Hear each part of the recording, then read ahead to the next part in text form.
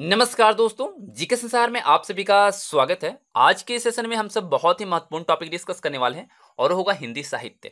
और इसके अंतर्गत हम सब आधुनिक काल से जुड़े महत्वपूर्ण पंद्रह प्रश्न देखेंगे, जो कि आपके सभी पेपर्स के लिए काफ़ी महत्वपूर्ण होगा। जैसे NET J R F C TET B TET UP TET साथ ही साथ एलटी ग्रेड टीचर का जो पेपर देने वाले हैं, उन सभी के लिए काफ़ी महत्वपूर्ण है।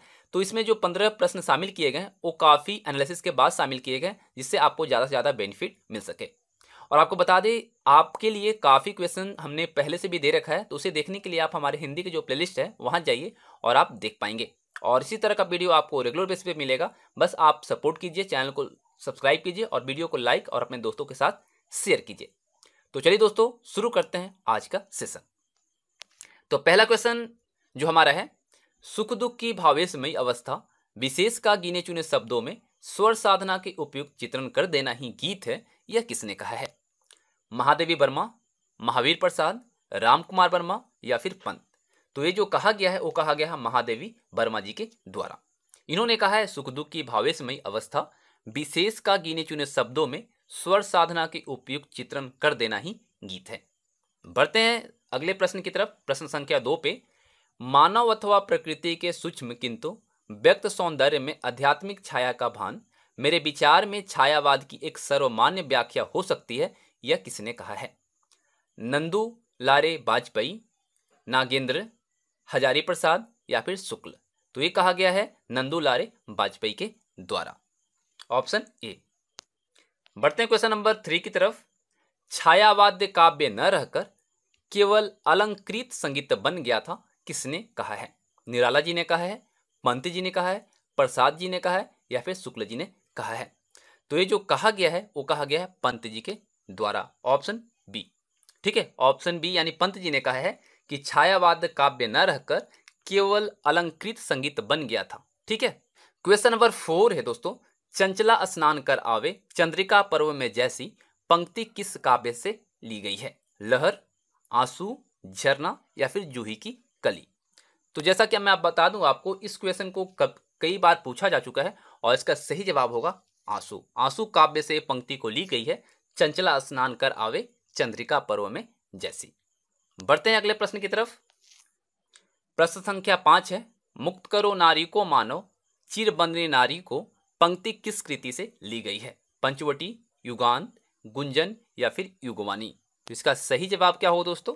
वो होगा युगवानी युगवाणी का यह पंक्ति है, मुक्त करो नारी को, मानो चिरबंदनी नारी को।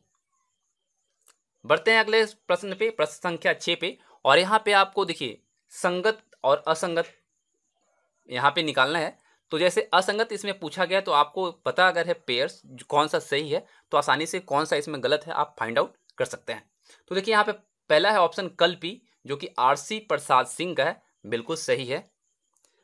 फिर दूसरा है अपराजिता, जो कि अंचल जी का है, बिल्कुल सही है। किरण बेला, केदारनाथ अग्रवाल, गलत है। सुवर्णा, नरेंद्र शर्मा, ये भी सही, यानी कि ऑप्शन सी जो है, इसका करेक्ट आंसर होगा, ये असंगत है। बढ़ते हैं क्वेश्चन नंबर सेवन पे। महादेवी जी का वह काव्य संग्रह कौन सा है, जिसमें उनके दार्शनिक विचार अधिक प्रौढ़ रूप में उभर कर आए हैं? रश्मि, निहार, निर्जा या फिर सांधे गीत? तो इसका सही जवाब जो होगा दोस्तों होगा सांधे गीत। बढ़ते हैं क्वेश्चन नंबर एट की तरफ़। अपनी व्यक्त पुण्यता को अव्यक्त पुण्यता में मिटा देने की इच्छा ही रहस्यवाद है। उपयुक्त पंक्ति जो है, कथन जो है, किसका है? जयशंकर प्रसाद, महादेवी वर्मा, श्याम सुंदर दास या फिर आचार्य शुक्ल। तो ये जो पंक्ति है, वो है महादेवी वर्मा जी की। ठीक है, ये पंक्ति काफ़ी सुंदर पंक्ति है। अपनी व्यक्त पुण्यता को अव्यक्त पुण्यता में मिटा देने की इच्छा ही रहस्यवाद है। ये पंक्ति है महादेवी वर्मा जी की, ठीक है? क्वेश्चन नंबर नाइन है, छायावाद तत्व प्रकृति के बीच जीवन का उद्गित है, इसका मूल दर्शन सर्वोत्तम वाद है यह परिभाषा किसकी है? जयशंकर प्रसाद, पंत राम कुमार वर्मा या फिर महादेवी वर्मा? तो इसका सही जवाब जो होगा होगा महादेवी वर्मा, ठीक है? बढ़ते हैं अगले प्रश्न की तरफ़, प्रश्न संख्या दस पे। जब वेदना के आधार पर स्वानुभूतिमयी अभिव्यक्ति होने लगी, तब हिंदी में उसे छायावाद के नाम से अभिहित किया गया। यह कथन किस व्यक्ति का है? प्रसाद जी का है, परमानंद श्रीवास्तव जी का है, डॉक्टर नगेंद्र जी का है, या फिर शांति प्रिय द्विवेदी जी का है? तो ये जो पंक्ति है दोस्तों, ये जो कथन है, वो किसका है? वो है आपका प्रसाद जी का। Option A. बढ़ते हैं क्वेश्चन नंबर इलेवन की तरफ़। छायावाद शब्द का प्रयोग दो अर्थों में समझना चाहिए।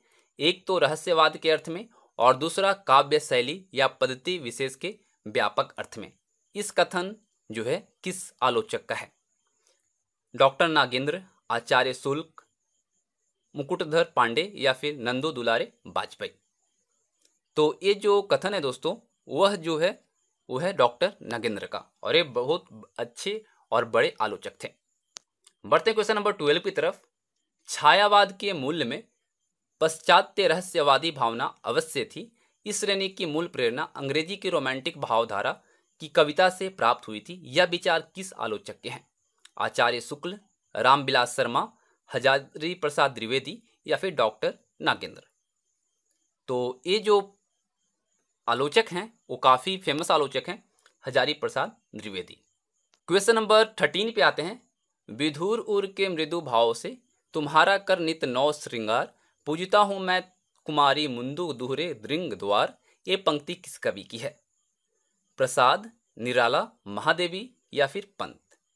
तो ये जो पंक्ति है, वो पंत जी की है।